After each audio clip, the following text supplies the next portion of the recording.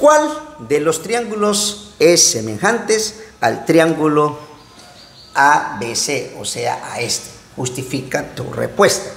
Ahora, para contestar esa preguntita, chicos y chicas, hay que ver si el par de lados correspondiente son proporcionales.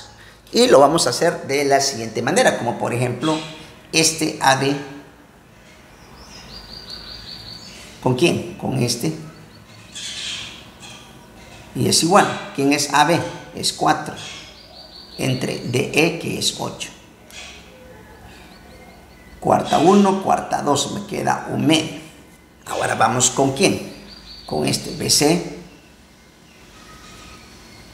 ¿Entre quién? Entre este EF. ¿Cuánto vale BC? Vale 6. ¿Cuánto vale EF? Vale 3. Ahora, y nos vamos a dar cuenta, chicos y chicas, de que en el caso del triángulo, como pueden ver aquí, nos da 6 treceavos. ¿Y qué significa eso? Eso significa de que, en este caso, el triángulo ABC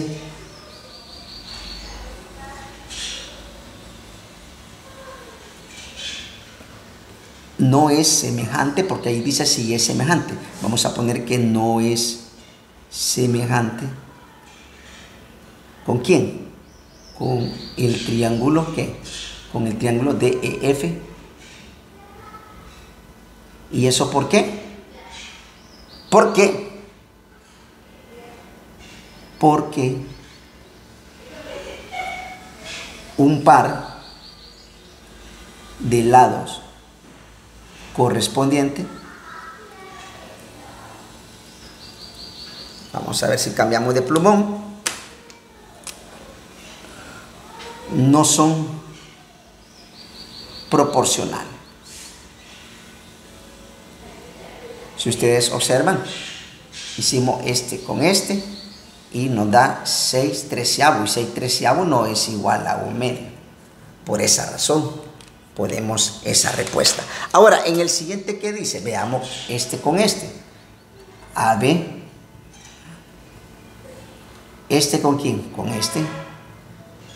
GH.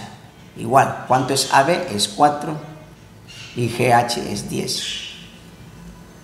Y decimos, mitad de 4 es 2 y mitad de 10 es ¿Cuánto? Mitad de 10 es 5. Y me queda 2 quintos. Ahora, vamos con el siguiente. Este con este. B, C. ¿Entre qué? Entre H. HI. ¿Quién es BC? Es 6 entre HI que es 15. Ah, simplifiquemos tiene tercera 2, tercera 5. Ajá, very good, como decía mi abuelito, son iguales. Veamos con el siguiente. CA. ¿Con quién? Con IG. CA en este caso es 5, ya saben que son centímetros, y es que son 12.5. Ahora, y si ustedes observan, chicos y chicas, se darán cuenta de que podemos decir nosotros lo siguiente. Si ustedes dividen 5 entre 12.5 y eso nos va a dar prácticamente cuánto? Ah, este es igual a 2 quintos. Ah, son iguales. ¿Y qué significa eso? Eso significa que podemos decir nosotros entonces, para ir aterrizando, como decía mi abuelito por aquí, por aquí vamos a poner la respuesta, chicos. Vamos a decir de que el triángulo, que este con este, que sería en este caso el triángulo G, H y es semejante con el triángulo que con el triángulo que tenemos aquí que sería ABC. ¿Y eso por qué criterio? Por el criterio LLL. Y de esa forma pues nosotros estaríamos explicando lo que es el numeral 2. Ahora, en el numeral 3 dice lo siguiente. ¿Cuáles deben ser los valores de X y Y para que el triángulo ABC sea semejante al triángulo DEF. Sencillo, debe de cumplir lo siguiente, chicos y chicas. Debe de cumplir de que nosotros digamos, este 7, este tiene que ser igual con quién. Bueno, mejor dicho, este es proporcional con este, o es correspondiente, como ustedes quieran llamar. Este es correspondiente con este. Y este es correspondiente con este. Y este. Vamos a hacer bien la X. Ese es correspondiente con este. Ahí lo tenemos. Ahora debe de cumplir esa igualdad. Ahora veamos si es cierto. Vamos a trabajar estos dos. 7 y este. Ahora, este está diciendo pasa a multiplicar. Este está diciendo pasa a multiplicar. Me queda aquí 7y igual. ¿Cuánto es 10.5 por 5? Ah, eso nos va a dar 52.5.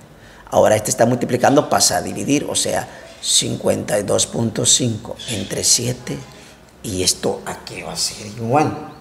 Ese va a ser igual a 7.5.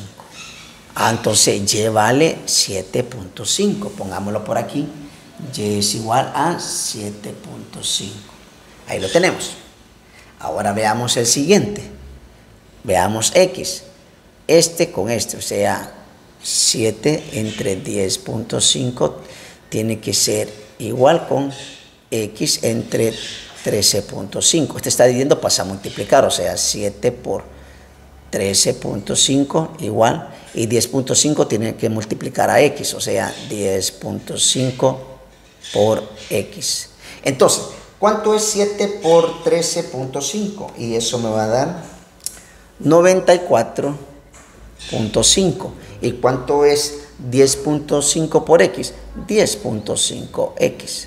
Ahora, este está multiplicando, pasa a dividir, o sea, 94.5, dividámoslo entre 10.5 y ese va a ser igual el valor de x. Ahora, ¿cuánto vale x? Ah, si nosotros hacemos esa división, nos vamos a dar cuenta de que x vale 9.